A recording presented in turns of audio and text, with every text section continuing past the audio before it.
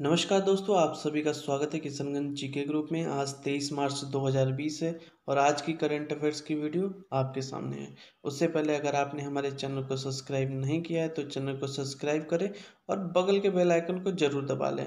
और आज की करंट अफेयर्स की हिंदी और इंग्लिश की पीडीएफ डाउनलोड करने के लिए नीचे दिए गए लिंक पर क्लिक करके डाउनलोड कर सकते हैं।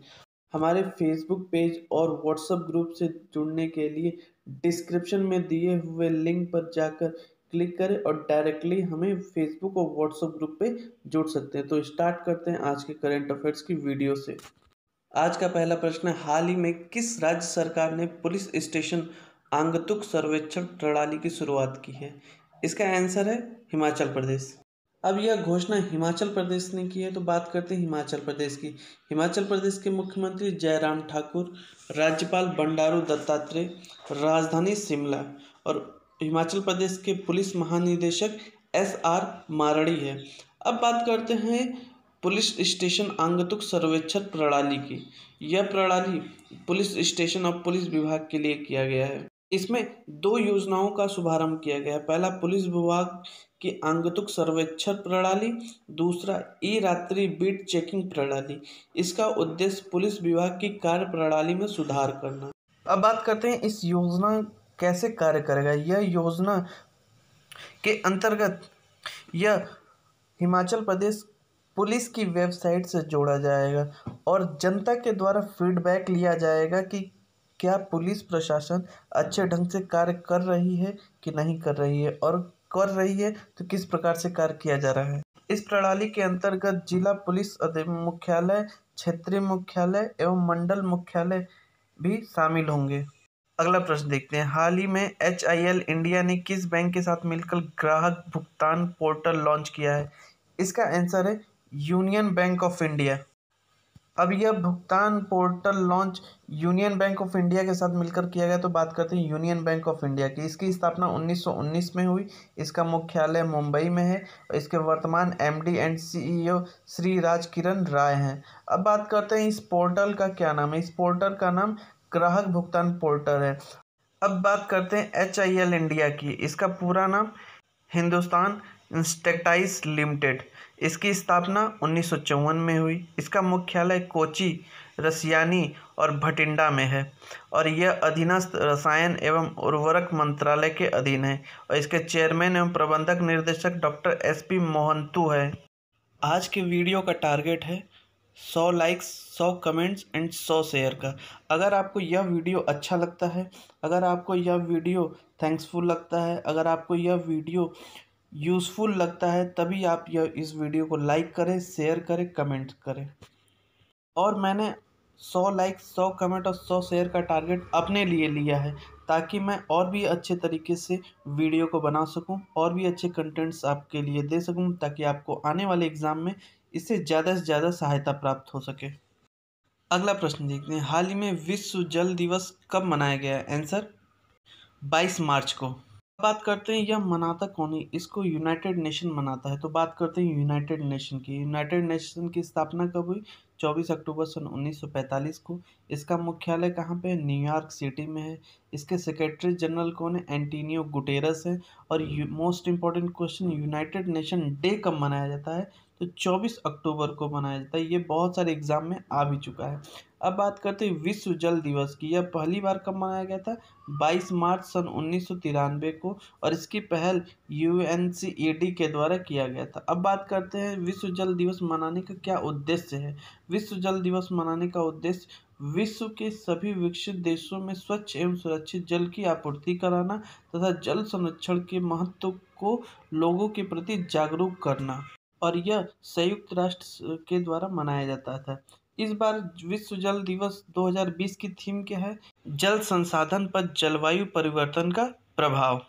अगला प्रश्न देखते हैं। हाल ही में भारत सरकार ने कितने साल में हर राज्य की राजधानी में एक फॉरेंसिक प्रयोगशाला स्थापित करने की घोषणा की है? इसका आंसर दो साल में। अब बात करते हैं केंद्रीय फॉरेंसिक विज्ञान प्रयोगशाला की। यह भारत के गृह मंत्रालय के अधीन है और भारत में कुल सात प्रयोगशाला अभी तक हैं, जो जिसमें कि हैदराबाद, कोलकाता, चंडीगढ़, नई दिल्ली, गुवाहाटी, भोपाल और पुणे है और इसकी स्थापना उन्नीस सौ सत्तावन में हुई थी। अगला प्रश्न देखते हैं। हाल ही में किसने भारतीय नागरिकों के लिए संगरोध शिविर स्थापित किया है? इसका आंसर है भारतीय नौसेना। अब भारतीय नौसेना ने इसका आयोजन किया है तो बात करते हैं भारतीय नौसेना की। इसकी स्थापना पाँच सितंबर सन 1916 में हुई। इसका मुख्यालय ministry of defence new Delhi है। इसका आदर्श वाग शाह नो वरुणा है और भारतीय नौसेना के सेना प्रमुख कौन है? एडमिरल करमवीर सिंह हैं। अब बात करते हैं ये संगरोग शिविर क्या है? इसका आयोजन पूर्वी नौसेना कमान आईएनएस विक्रमा पे हुआ है और यह कोविड नाइन्टीन प्रभावित देशों से निकाले गए भारतीय नागरिकों के इलाज के लिए किया गया है। इस शिविर में कम से कम दो सौ कर्मचारी नियुक्त हैं। अगला प्रश्न देखते हैं। हाल ही में किसने छात्र के लिए ई कंटेंट्स और टोल फ्री हेल्पलाइन नंबर जारी किया है? इसका आंसर है सीबीएसई ने। अब यह जारी सीबीएसई ने किया तो बात करते हैं सीबीएसई की। सीबीएसई का पूरा नाम central board of secondary education है। इसकी स्थापना तीन नवंबर सन उन्नीस में हुई।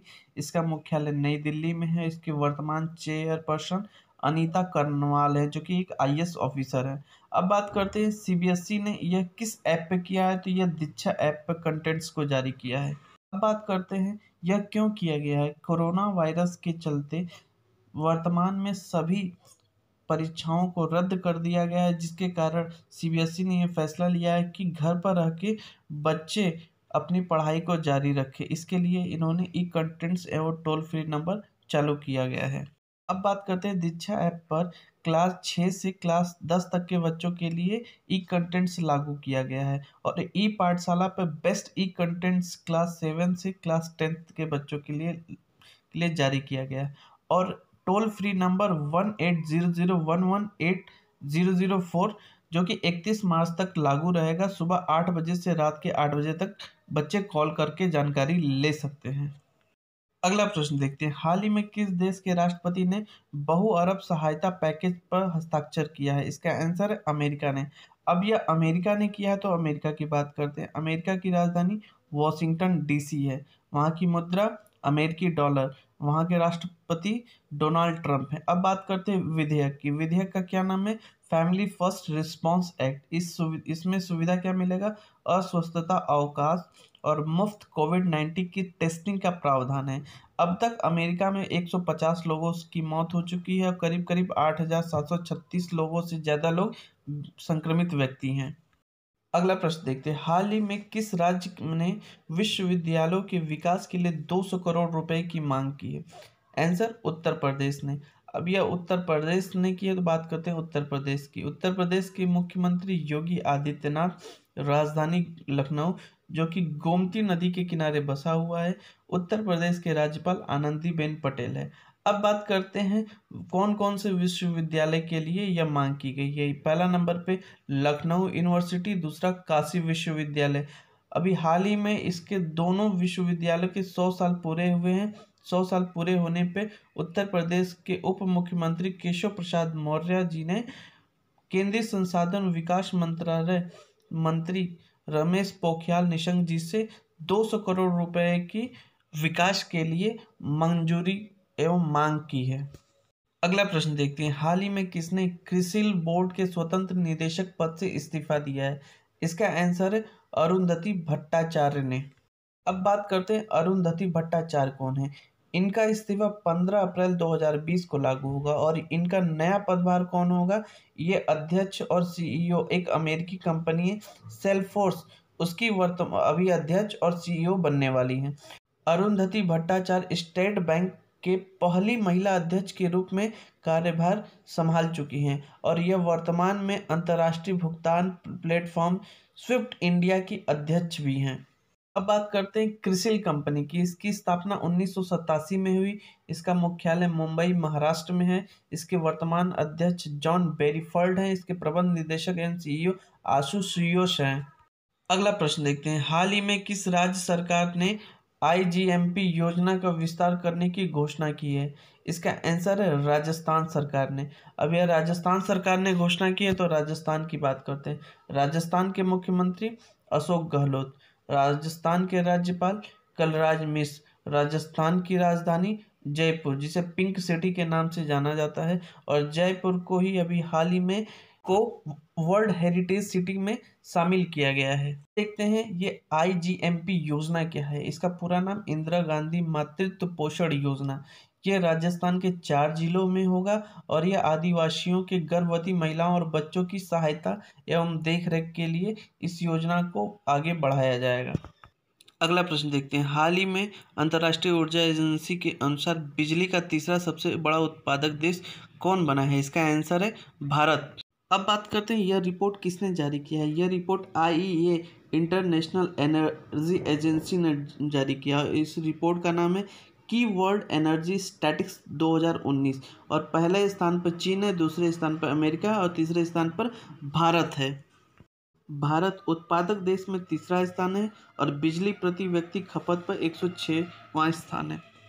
अगला प्रश्न देखते हैं, हाल ही में किस देश के क्रिकेट बोर्ड ने अपने सभी प्रोफेशनल क्रिकेटरों को 28 मई तक निलंबित कर दिया है। इसका आंसर है इंग्लैंड ने।